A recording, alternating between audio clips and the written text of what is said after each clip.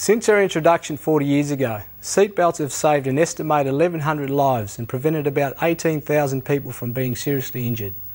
This is a great outcome, but we still have a long way to go. On average, 40 people are killed each year because they aren't wearing their seatbelts. I ask you all to belt up when you're in the car and remind your family and friends that wearing a seatbelt can save their lives.